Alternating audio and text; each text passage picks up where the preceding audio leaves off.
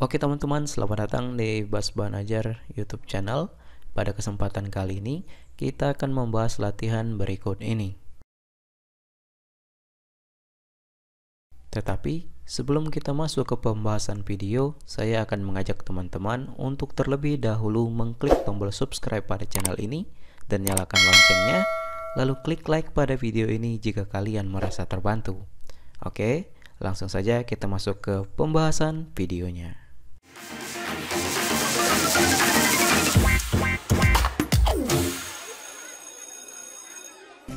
Oke teman-teman di kesempatan kali ini kita akan membahas tugas kelompok 1.1 di halaman 12 dan 13 di buku paket PKN kelas 11 semester 1 kurikulum 2013. Langsung saja kita baca soalnya kemudian kita jawab. 1. Selain diatur dalam konstitusi, hak dan kewajiban asasi manusia juga diatur di dalam Undang-Undang Negara Republik Indonesia Nomor 39 Tahun 99 tentang Hak Asasi Manusia Coba kalian identifikasi jenis hak dan kewajiban asasi yang diatur dalam peraturan perundang-undangan tersebut. Oke, langsung saja jawabannya sebagai berikut.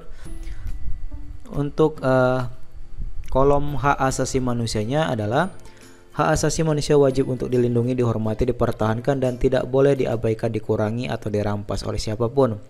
Mendapatkan persamaan kedudukan di dalam hukum dan pemerintahan, kemerdekaan untuk berserikat dan berkumpul, mendapatkan jaminan atas hak asasi manusia dari negara dan pemerintah, hak atas pekerjaan dan penghidupan yang layak, memberikan pendapat dan pikiran, memeluk agama atau kepercayaan sesuai keinginan, mendapatkan pendidikan dan pengajaran, hak wanita dan anak, hak mendapatkan rasa aman, kebebasan, dan mengembangkan diri.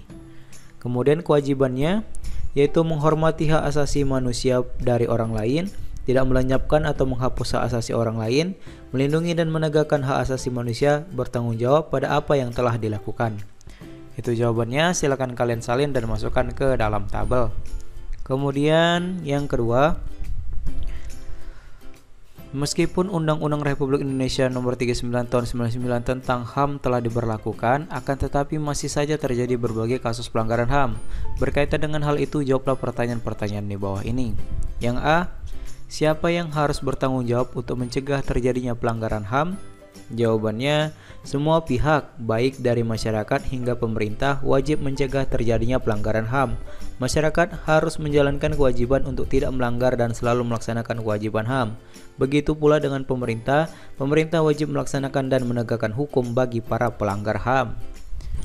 Kemudian yang B, apa saja solusi yang dapat kalian ajukan untuk mencegah terjadinya pelanggaran HAM?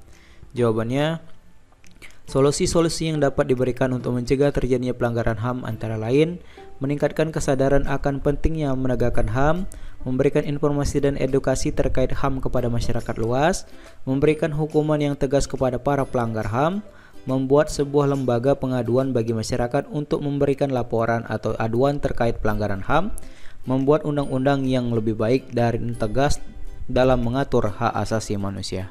Itulah jawabannya, silahkan kalian salin dan semoga jawabannya membantu. Jika ada jawaban yang kurang jelas atau kurang kamu mengerti, silahkan kalian tanyakan di kolom komentar di bawah. Saya akhiri video kali ini dan sampai jumpa di video selanjutnya.